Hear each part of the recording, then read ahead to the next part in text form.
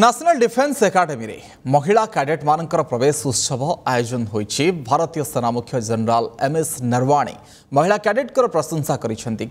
पर मो पदवी में महिला मान देखी बोली से कहते एकचाशतम एनडीए परेड को संबोधित करम एम नरवाणे महिला मैंने सशस्त्र बाहन में सामिल होगाकूँ लिंगगत सामानता प्रति प्रथम पदक्षेप महिला मान तालीम सकाशे भित्तिमि सामान्य पर किंतु तालीम पुरुष मान भ आधुनिकीकरण और प्रतिरक्षा तालीम नारी मान सामिल कर आगामी दिन में मो पदवी से नारी मान देखा पाइबि महिला कैडेट मान द्वार उन्मुक्त कर